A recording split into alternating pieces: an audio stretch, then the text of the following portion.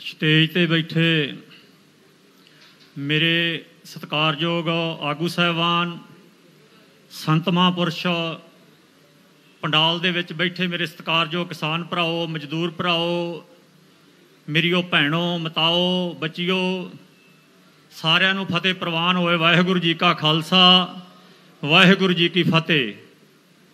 ਅੱਜ ਅਸੀਂ ਸਾਹਿਬ ਸ੍ਰੀ ਗੁਰੂ ਅਰਜਨ ਦੇਵ ਜੀ ਦੇ ਸ਼ਹੀਦੀ ਦਿਹਾੜੇ ਨੂੰ ਸਮਰਪਿਤ ਅੱਜ ਦਾ ਦਿਨ ਮਨਾ ਰਹੇ ਹਾਂ।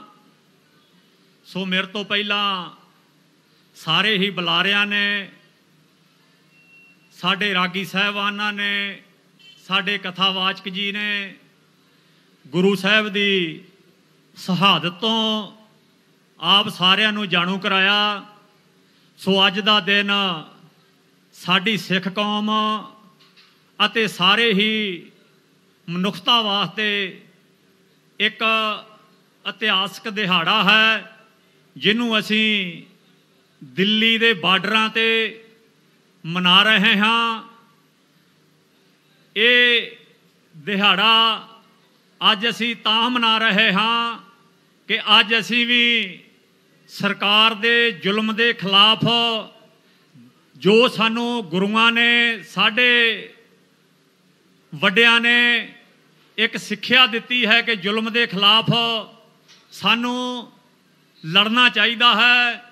ਇਸ ਕਰਕੇ ਅੱਜ ਅਸੀਂ ਆਪਦੇ ਗੁਰੂਆਂ ਨੂੰ ਯਾਦ ਕਰਕੇ ਇਸ ਸਰਕਾਰ ਨੂੰ ਇਥੋਂ ਦੱਸਣਾ ਚਾਹੁੰਦੇ ਹਾਂ ਕਿ ਇਹ ਗੁਰੂਆਂ ਦੇ ਵਾਰਸ ਹੈ। ਹਨ ਜਿੰਨਾ ਚਿਰ ਸਰਕਾਰ ਸਾਡੀ ਇਹ ਜਿਹੜੀ ਲੜਾਈ ਆ ਤਿੰਨਾਂ ਕਾਨੂੰਨਾਂ ਨੂੰ ਵਾਪਸ ਕਰਨ ਦੀ, ਜਿੰਨਾ ਚਿਰ ਨਹੀਂ ਮੰਨਦੀ ਉਹਨਾਂ ਚਿਰ ਅਸੀਂ ਇੱਥੇ ਆਪਦੇ ਮੋਰਚੇ ਤੇ ਡਟੇ ਰਵਾਂਗੇ ਤੇ ਜਿਸ ਤਰ੍ਹਾਂ ਸਾਡੇ ਗੁਰੂ ਸਾਹਿਬਾਨਾਂ ਨੇ ਆਪਣੀਆਂ ਸਹਾਤਾਂ ਦੇ ਕੇ ਇਸ ਜ਼ੁਲਮ ਨੂੰ ਠੱਲ ਪਾਈ ਸੀ, ਅੱਜ ਅਸੀਂ ਵੀ ਉਹਨਾਂ ਤੋਂ ਪ੍ਰੇਰਣਾ ਲੈ ਕੇ ਦੱਸਣਾ ਚਾਹੁੰਦੇ ਆ ਕਿ ਜੇ ਸਰਕਾਰ ਦੇ ਨਾਲ ਉਹਨਾਂ ਚਿਰ ਅਸੀਂ ਲੜਾਂਗੇ ਜੇ ਸਰਕਾਰ ਸਾਡੀਆਂ ਮੰਗਾਂ ਨੂੰ ਪ੍ਰਵਾਨ ਨਹੀਂ ਕਰਦੀ ਤੇ ਅਸੀਂ ਸ਼ਹੀਦੀਆਂ ਦੇਣ ਤੱਕ ਵੀ ਅਸੀਂ ਇਸ ਸੰਘਰਸ਼ ਨੂੰ ਅੱਗੇ ਲੈ ਕੇ ਜਾਵਾਂਗੇ, ਸੋ 7 ਮਹੀਨਿਆਂ ਦਾ ਸਮਾਂ ਸਾਨੂੰ ਹੋ ਜਾਣਾ 26 ਤਰੀਕ ਨੂੰ।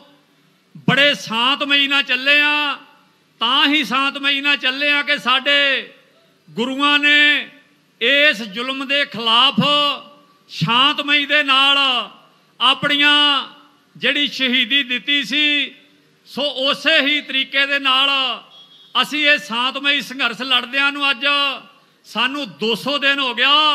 ਸੋ ਅੱਜ ਗੁਰੂ ਸਾਹਿਬਾਨਾਂ ਦੇ ਦੱਸੇ ਪੂਰਨਿਆਂ ਦੇ ਉੱਤੇ ਅਸੀਂ ਅੱਜ ਉਹਨਾਂ ਤੋਂ ਪ੍ਰੇਰਣਾ ਲੈ ਕੇ ਅੱਜ ਉਹਨਾਂ ਨੂੰ ਯਾਦ ਕਰਦੇ ਹੋਏ ਵੀ ਅਸੀਂ ਦੱਸਣਾ ਚਾਹੁੰਦੇ ਇਹਨਾਂ ਸਰਕਾਰਾਂ ਨੂੰ ਕਿ ਇਹ ਜਿਹੜਾ ਸੰਘਰਸ਼ ਆ, ਇਹ ਲੰਮਾ ਸਮਾਂ ਚੱਲਦੇ ਨੂੰ ਹੋ ਗਿਆ ਤੇ ਲੰਮਾ ਸਮਾਂ ਹੋਰ ਚੱਲਦਾ ਰਹੂਗਾ ਸ਼ਾਂਤਮਈ ਚੱਲਦਾ ਰਹੂਗਾ। ਇਸ ਕਰਕੇ ਇਹ ਕੋਈ ਇਹਦੇ ਚ ਅਥ ਕਥਨੀ ਨਹੀਂ ਕਿ ਸੈਂਤ ਅਸੀਂ ਕਿਸੇ ਇਤਿਹਾਸ ਤੋਂ ਜਾਣੂ ਨਹੀਂ ਗਏ ਸਾਡਾ ਇਤਿਹਾਸ ਹੀ ਇਹ ਆ ਕਿ ਜ਼ੁਲਮਾਂ ਦੇ ਖਿਲਾਫ ਲੜਨਾ। ਸੋ ਅੱਜ ਅਸੀਂ ਆ ਸਾਰਾ ਹੀ ਜਿੰਨਾ ਸਾਡਾ ਇੱਥੇ ਕੈਂਪ ਆ ਪਿੱਛੋਂ ਤੋਂ ਲੈ ਕੇ ਅਸੀਂ ਮੈਂ ਹੀ ਆ ਜਿਹੜਾ ਆਪਣਾ ਰਸੋਈ ਢਾਬਾ ਉਹਦੇ ਤੋਂ ਲੈ ਕੇ ਅੱਜ ਮੈਂ ਸਵੇਰ ਦੇ ਇੱਥੇ ਆਇਆ ਤੇ ਹਰ ਇੱਕ ਕੈਂਪ ਦੇ ਵਿੱਚ ਅੱਜ ਗੁਰੂ ਸਾਹਿਬ ਦੀ ਸ਼ਹਾਦਤ ਨੂੰ ਪ੍ਰਣਾਮ ਕੀਤਾ ਜਾ ਰਿਹਾ ਵਾ। ਠੰਡੇ ਜਲ ਦੀਆਂ ਸਬੀਲਾਂ ਚੱਲ ਰਹੀਆਂ ਵਾ।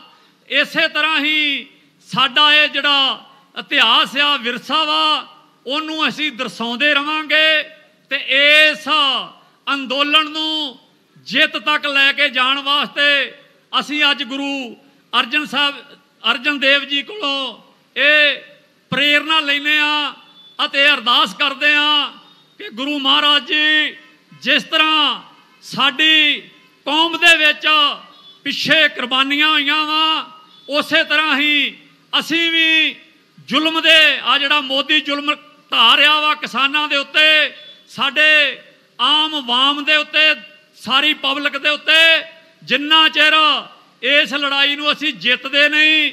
ਅਸੀਂ ਤੁਹਾਡੇ ਦੱਸੇ ਵਜਨਾਂ ਤੇ ਅਸੀਂ ਉਹਨਾਂ ਕਦਮਾਂ ਦੇ ਉੱਤੇ ਚੱਲ ਕੇ ਇਸ ਸੰਘਰਸ਼ ਨੂੰ ਅੱਗੇ ਲੈ ਕੇ ਜਾਵਾਂਗੇ।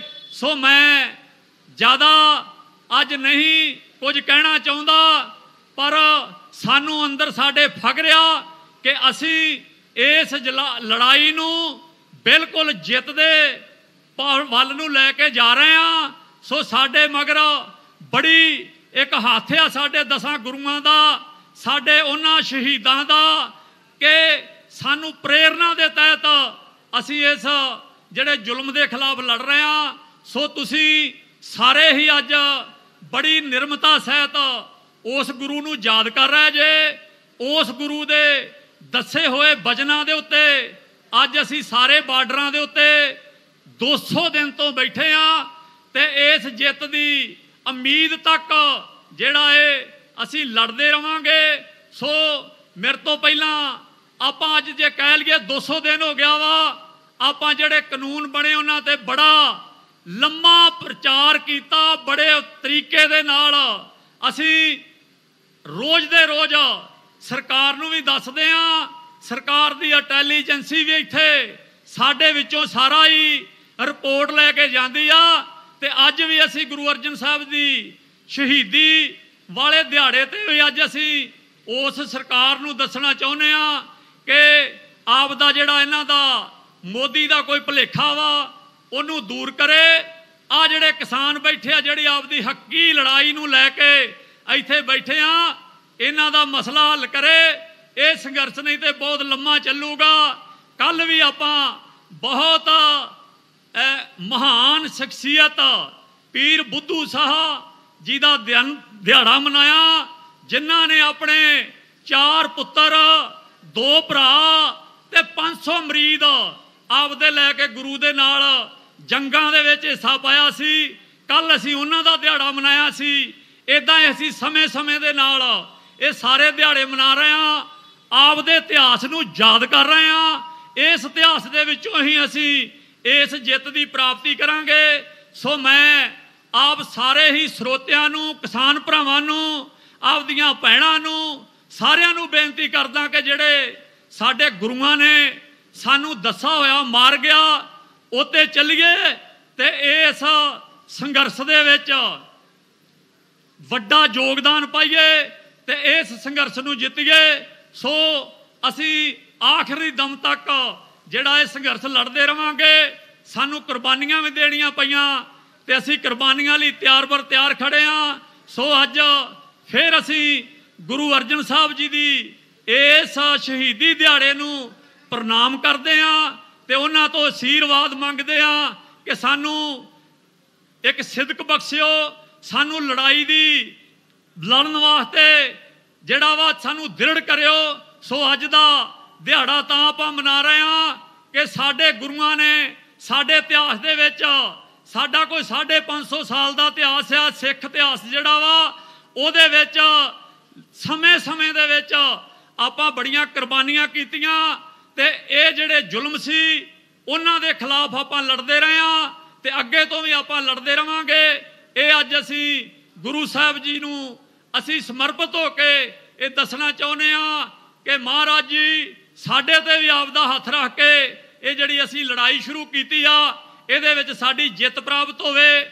ਅਸੀਂ ਆਪਦੇ ਖੁਸ਼ੀ-ਖੁਸ਼ੀ ਆਪਦੇ ਕਿਸਾਨਾਂ ਨੂੰ ਲੈ ਕੇ ਆਪਦੇ ਘਰਾਂ ਨੂੰ ਪਰਤੀਏ। ਸੋ ਮਹਾਰਾਜ ਜੀ ਦੇ ਅੱਗੇ ਸਾਡੀ ਇਹੋ ਹੀ ਜਿਹੜੀ ਆਖਰ ਬੇਨਤੀ ਆ ਕਿ ਇਹ ਸਾ, ਤੁਹਾਡੀ ਸਾਰੀ ਸੰਗਤ, ਸਾਰਾ ਜਿਹੜਾ ਅੱਜ ਅੰਦੋਲਨ ਆ, ਇਹ ਇਕੱਲੇ ਸਿੱਖ ਸਾਡਾ ਜਾਂ ਪੰਜਾਬ ਦਾ ਜਾਂ ਸਿੱਖਾਂ ਦਾ ਨਹੀਂ, ਇਹ ਸਾਰੀਆਂ ਕੌਮਾਂ ਦੇ ਵਿੱਚ ਇਹ ਜਿਹੜਾ ਅੰਦੋਲਨ ਚੱਲ ਰਿਹਾ ਵਾ, ਇਸ ਕਰਕੇ ਅਸੀਂ ਸਰਬੱਤ ਦੀ ਜਿਹੜੀ ਲੜਾਈ ਆ, ਉਹ ਅੱਜ ਫੇਰ ਗੁਰੂਆਂ ਦੇ ਦੱਸੇ ਮਾਰਗ ਦੇ ਉੱਤੇ ਲੜ ਰਹੇ ਆ ਸੋ ਸਾਰਿਆਂ ਨੂੰ ਮੈਂ ਅੱਜ ਗੁਰੂ ਸਾਹਿਬ ਦੇ ਸ਼ਹੀਦੀ ਦਿਹਾੜੇ ਦੇ ਉੱਤੇ ਮੈਂ ਕਹਿਣਾ ਚਾਹੁੰਦਾ ਕਿ ਸਾਡਾ ਜੋ ਇਤਿਹਾਸ ਆ, ਉਹਨੂੰ ਅਸੀਂ ਭੁਲਾਉਣਾ ਨਹੀਂ ਚਾਹੀਦਾ।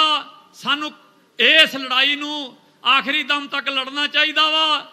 ਅਸੀਂ ਬੈਠਿਆਂ ਥੱਲੇ ਕੋਈ ਗੱਲਬਾਤ ਚੱਲਦੀ ਸੀ ਕਿ ਅੱਜ ਸਾਡੇ ਇੱਥੇ ਜਿਹੜੇ ਸਟੇਜ ਦੇ ਉੱਤੇ ਆ, ਸਾਡੀ ਰੌਣਕ ਜਿਹੜੀ ਉਹ ਘਟਿਆ। ਮੈਂ ਆਪਣੇ ਆਗੂ ਸਾਹਿਬਾਨ ਨਾਲ ਗੱਲ ਕੀਤੀ ਸੀ, ਜਿੱਦਾਂ ਮੈਂ ਪਹਿਲਾਂ ਵੀ ਕੀਤੀ ਆ। ਅੱਜ ਅਸੀਂ ਸਾਰੇ ਹੀ ਕੈਂਪਾਂ ਦੇ ਵਿੱਚ ਗੁਰੂ ਸਾਹਿਬ ਦਾ ਦਿਨ ਮਨਾ ਰਹੇ ਆ। ਸਾਰੇ ਠੰਡੇ ਮਿੱਠੇ ਜਲ ਦੀਆਂ ਛਬੀਲਾਂ ਚੱਲ ਰਹੀਆਂ ਵਾ।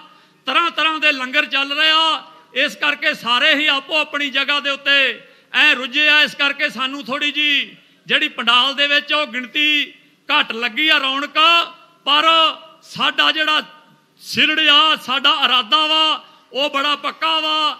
ਅਸੀਂ ਪਿਛਲੇ ਇਤਿਹਾਸ ਤੋਂ ਜਾਣੂ ਆ ਕਿ ਅਸੀਂ ਥੋੜੀ ਗਿਣਤੀ ਦੇ ਵਿੱਚ ਵੀ ਵੱਡੀ ਗਿਣਤੀ ਦੇ ਨਾਲ ਲੜਦੇ ਆਏ ਆ।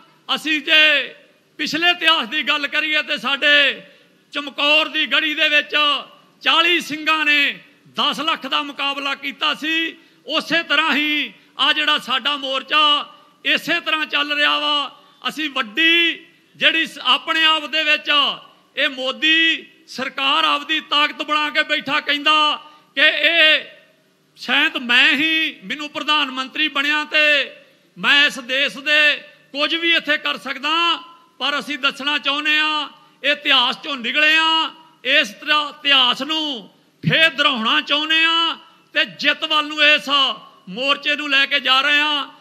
ਸਾ ਆਖਰ ਦੇ ਵਿੱਚ ਮੈਂ ਗੁਰੂ ਮਹਾਰਾਜ ਦੇ ਚਰਨਾਂ ਦੇ ਵਿੱਚ ਬੇਨਤੀ ਕਰਦਾ ਕਿ ਸਾਡੇ ਇਸ ਮੋਰਚੇ ਦੇ ਵਿੱਚ ਆਪ ਸਹਾਈ ਹੋ ਕੇ ਇਸ ਮੋਰਚੇ ਨੂੰ ਜਿੱਤ ਵੱਲ ਲੈ ਕੇ ਜਾ ਸਾਨੂੰ ਜਿੱਤ ਦਾ ਜਿਹੜਾ ਵਾ ਸਾਡੇ ਉੱਤੇ ਥਾਪੜਾ ਦਿੱਤਾ, ਉਹ ਦੋ ਤੇ ਅਸੀਂ ਇਸ ਮੋਰਚੇ ਨੂੰ ਜਿਹੜਾ ਵਾ ਐ ਆਪਣੇ ਦ੍ਰਿੜ ਦੇ ਨਾਲ ਲੜ ਕੇ ਜਿਹੜਾ ਵਾ ਉਹ ਅਸੀਂ ਜਿੱਤ ਕੇ ਜਾਈਏ, ਇਹ ਸਾਨੂੰ ਗੁਰੂਆਂ ਤੋਂ ਪ੍ਰੇ- ਪ੍ਰੇਰਣਾ ਮਿਲਦੀ ਆ, ਸਾਡੇ ਸ਼ਹੀਦਾਂ ਤੋਂ ਪ੍ਰੇਰਣਾ ਮਿਲਦੀ ਆ। ਸੋ ਤੁਸੀਂ ਬੜੇ ਦ੍ਰਿੜ ਇਰਾਦੇ ਦੇ ਨਾਲ ਬੈਠੇ ਜੇ, ਕੋਈ ਵੀ ਮਨ ਦੇ ਵਿੱਚ, ਸਾਡੇ ਵਿੱਚ ਕੋਈ ਵਹਿਮ ਨਹੀਂ, ਤੇ ਅਸੀਂ ਇਸ ਲੜਾਈ ਨੂੰ ਜਿੱਤ ਕੇ ਜਿਹੜਾ ਵਾ ਉਹ ਜਾਣਾ ਵਾ, ਇੰਨੀਆਂ ਬੇਨਤੀਆਂ ਦੇ ਨਾਲ ਤੁਹਾਡਾ ਸਾਰਿਆਂ ਦਾ ਧੰਨਵਾਦ।